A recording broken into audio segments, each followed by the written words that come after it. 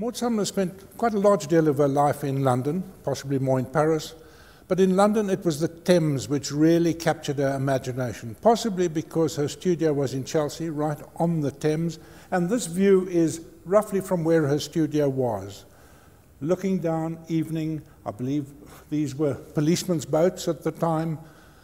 Again, analytical cubism, wonderful planes of color, wonderful line, and she's really absorbed.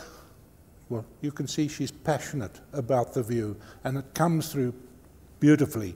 And it's a stunning painting and worthy of a very good price, to my mind.